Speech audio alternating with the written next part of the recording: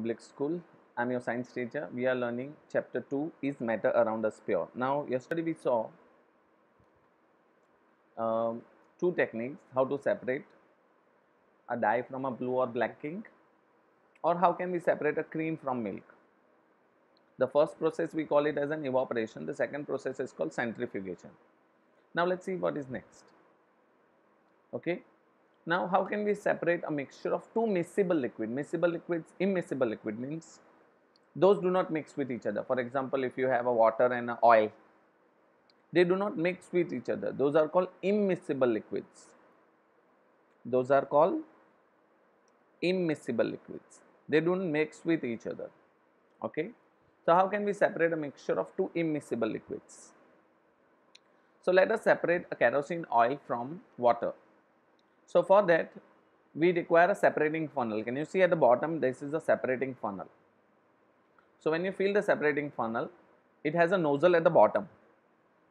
Now, what happen is let us stand for some time and a separate layers. If you can see the, there is a layer of kerosene at the top and there is a layer of water at the bottom. So, when you switch on the cock the water will pour out of it right once the water is finished, you close it. Once the water is finished, you close that it, right. So, once you close that, once you close that and then we can say uh, this is how you can finish this thing, okay. So, basically what we are doing is, so what we are doing here is that we are separating this thing into this way and then okay? So separating that thing into that way is a this is how we can get it done okay?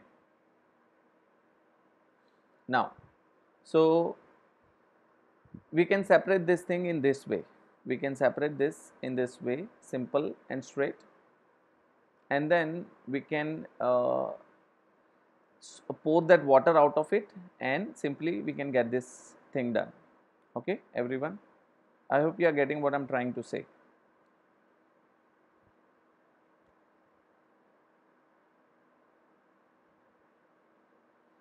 Now so this is two things. First is uh, kerosene and that is a water. You can separate out with the help of this thing. Okay now, let us see next what we have to do.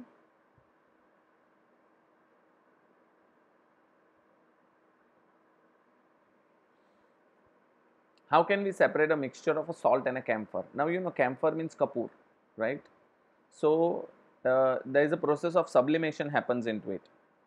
There is a process of sublimation happen. So, it is difficult for us uh, to get it done. So, in camphor what exactly we can do is it can directly goes from solid to gas. So, it is really difficult for us to do that.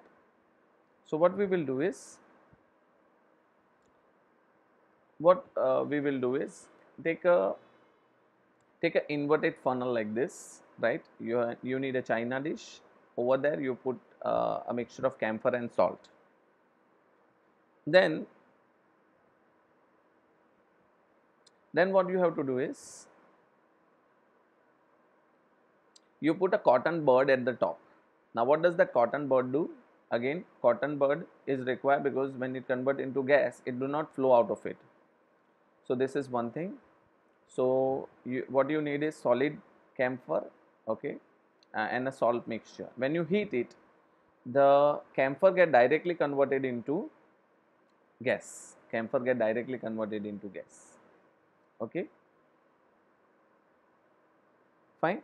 So, camphor get directly converted into gas like this. When it goes into gas, it goes up. When it goes up, the gas convert directly again into solid which get uh, attached to which gets attached at the top. Okay. Can you see that? So, this is how the camphor get attached at the top. Okay, everyone. Now, what next is, uh, this is how we can get the this is how we can get uh, the camphor out of it. So, you know camphor changes directly from solid to gas on heating. So, to separate such mixture contains a sublimation volatile component and a non-sublimation impurity that is uh, salt. So, once you can remove that funnel and you can get it done. So, this is how you can separate this two things. One is immiscible liquids and second is uh, this camphor out of that is uh, sublimation happens. For sublimation happens in uh, ammonium chloride also. Naphthalene you know what is the naphthalene ball? You must have seen your mother is putting the white color balls in your uh, clothes or everywhere in the cupboards right? So that was naphthalene ball you know you your clothes never get wet because of those naphthalene bonds. Okay? Because of sublimation happen. So hope you are getting what i'm trying to say.